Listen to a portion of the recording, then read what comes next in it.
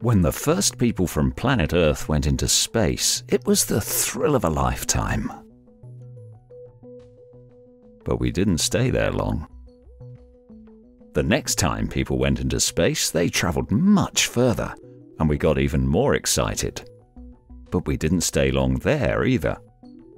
While people were going out and coming back, we put machines into space to get things done. Like bringing you television, forecasting the weather, saving lives at sea, and relieving disasters on land. Selling you stuff and exploring the planets. Keeping the peace. Helping farmers grow more food. Educating millions and connecting billions. Not always a big thrill, but always making people's lives back on Earth better. The third time we went into space, we decided to stay a while. But we still didn't go far from home.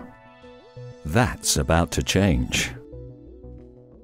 Companies big and small are starting to invest billions of dollars in the high frontier of space, in cheaper and more reliable ways to go there and come back, in technologies to survive in places far from the air and warmth and light of Earth in ways to find resources and use them to manufacture what we need there and power our spacecraft, so that we can build places to live and work, to make money, and make a life in space for hundreds, then thousands, then millions of people.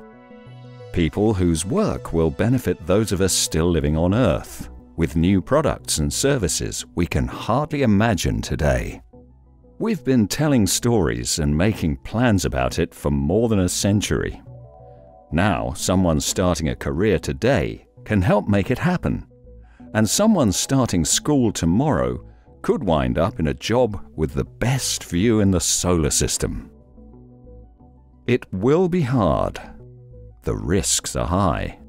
The technology is still being put to the test, and the business potential is far from certain. But for the first time since people began going into space, the opportunity is within our grasp. Not just to go out and come back to show that we can do it. To go and build a way of life that reaches as far as the light from our sun. To make sure that whatever happens to our fragile, beautiful world, humanity will always have a home in the universe. Space and satellite, the world's invisible, indispensable technologies, today and tomorrow. Brought to you by Space and Satellite Professionals International with the support of Blue Origin.